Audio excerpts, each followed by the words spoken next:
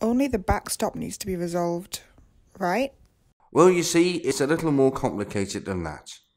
Under the withdrawal agreement originally set out by Theresa May and backed by the current government, numerous concessions were made that will negatively impact Britain after Brexit.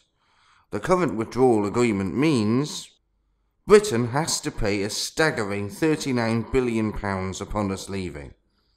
Hard-working British fishermen still have to abide by EU fishing quotas, even in British sovereign waters.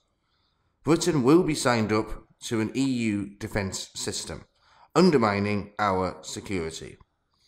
A ban on UK state aid that could be used to help our struggling heavy industries, not to mention countless other concessions. It's not just the backstop. No deal is the best deal for a prosperous Britain.